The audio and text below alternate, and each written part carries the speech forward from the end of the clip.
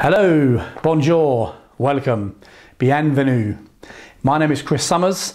I'm an agence immobilière working for Beau Village, who have offices across the southwest region of France. I specialise in the Haute Vienne. I sell property for many French clients, but I also specialise in looking after UK and other nationality clients, ensuring that making the leap to France can be as easy as possible for them.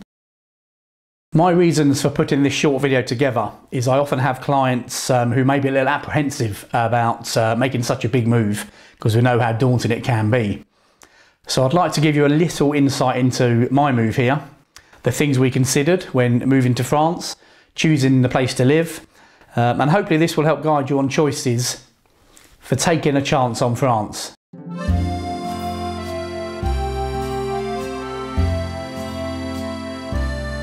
The housing market is very much on the move in the Haute Vienne. There are many, many wanting to move here from overseas, but also many Parisians and other city residents looking for country property and looking to move out of the cities into the smaller rural areas. And I'm continually seeking new listings to satisfy the demand from the clients. Later on, I'll be showing you a couple of gems that I currently have available on the market. I find the most popular question I get asked is, where will I go? Which town do I choose? France is a vast country and choosing the right department or region to be in is critical to narrow down your search to make it easier for yourselves. For me, I think it's really important to look at the facilities the town will have. Does it have the things you're going to need to help you settle quickly? Will it give you what you need to be happy there? I moved to the town of Bellac with my wife just over a year ago the reason I chose Bellac is because it's that perfect balance of being a town with all the major facilities, yet still keeps its village countryside feel with a rural element as well. This was really important to me. I wanted the peaceful, slower lifestyle, but also wanted the ability to keep busy and active. I'd say that's the kind of lifestyle we're all looking for when we make this move. Another huge consideration for me is the people that make the town. When moving overseas, we, have, we leave friends behind, and that can be quite daunting and upsetting.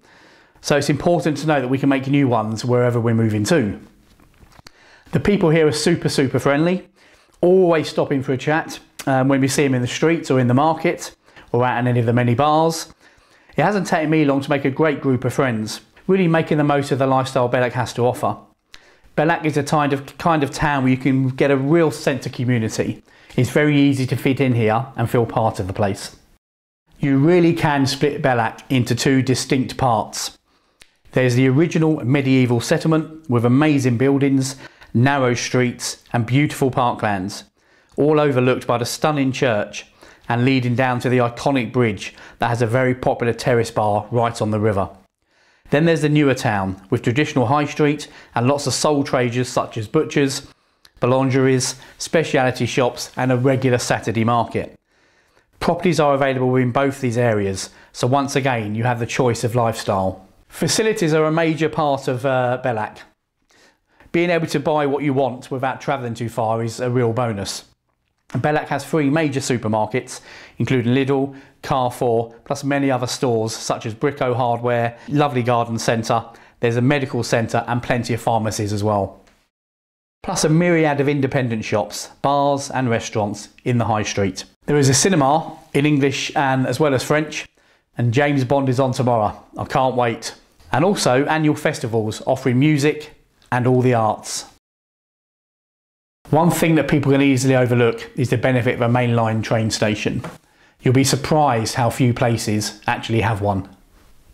Bellac sits between the large cities of Poitiers and Limoges, with both having airport links to London, Bristol and Manchester or you can take the train direct from Bellac and be in the UK in under seven hours.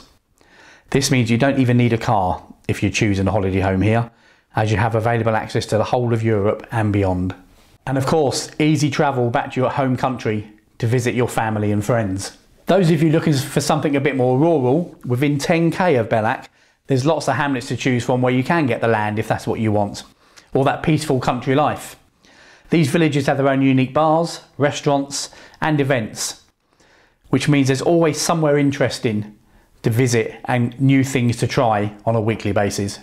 One of the other concerns most of my clients have is the uh, paperwork for France and the move to France.